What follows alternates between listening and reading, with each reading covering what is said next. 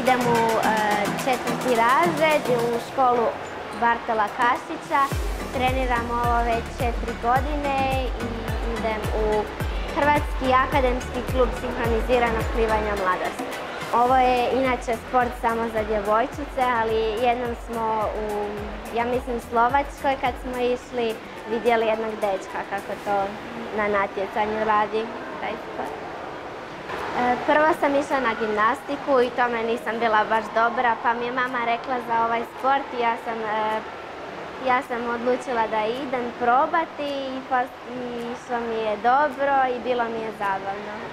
Kada dođemo na trening, najprije se rasplivamo, onda krenemo na figure, a onda ponavljamo koreografije. Naučili smo koreografiju na suhom i onda smo to još vježbali na suhom pa smo probali u vodi. Koreografije nam osmišljavaju trenerice Antonija i Lucija. Ja sam taman ove godine prestala trenirati, bavila sam se 14 godina sinkroniziranim plivanjem. Trenirala sam zadnjih 5 godina svaki dan, svaki dan smo dolazile na treninge i sad je došlo do toga da pređemo, da pređemo u trenersku ulogu više nego da sam u vodi. Ima djece u, svakom klubu, pogotovo u Zagrebu koji ima četiri kluba, što je dosta što je puno za, e, za sport koji nije toliko raširen, ali u svakom klubu stvarno ima djece i svake godine imamo e, nove upisane djece, sve više i više, tako da je dobro. Kad imamo jutro, utorkom, srijedom, četvrtkom, petom, petkom, subotom i nedjeljom, a kad imamo popodne, srijedom, četvrtkom, petkom, subotom i nedjeljom. Meni to je dovoljno treninga jer imam i vremena za učiti, imam i vremena za gledanje televizije i ono što volim raditi. Prijatelji moji kažu kad im kažem koliko imam treninga na dan, oni kažu kako sve uspiješ učiniti na vrijeme i još tako dobro, imaš dobre ocjene i tako.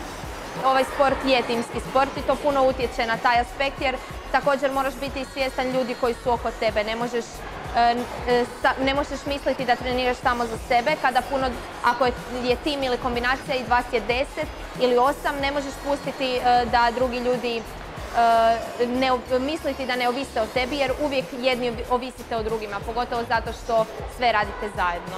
Imamo duo, solo, kombinaciju i tim. Meni je najdraži duo zato što imam puno prijatelja i sa svojom najboljom prijateljicom radim duo. I to nam ide dobro. Pa poseban je zato što koristiš svaki dio svog tijela i moraš uvijek misliti na to što radiš. Ne možeš se samo pustiti e, da, jer ne radiš cijelo vrijeme jednu radnju, nego stalno se nešto mijenja, stalno moraš biti i glavom i tijelom potpunosti uključen u to što radiš da bi postigao najbolji mogući rezultat. Nikada ne možeš se samo pustiti i ne razmišljati o tome što se događa oko tebe. Imamo sirenice, e, školicu, D kategoriju, to sam ja i naša grupa, C kategoriju, juniorke i seniorke. Moje prijateljice su, neke su išle na moju reviju, a one se bave gimnastikom, neke plivanjem, neke odbojkom. E, kad ja kažem za svoj sport one, i pokažem im snimku, bile su zadivljene i pitale su me kako to mogu.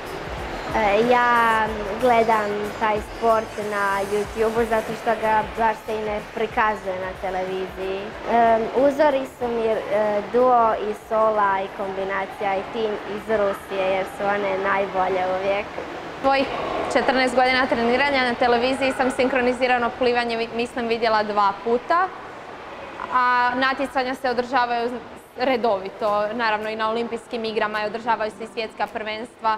Mi smo bile prošle godine na svjetskom prvenstvu, nije bilo na televiziji, moglo se samo gledati na internetu ili na stranicama FINE.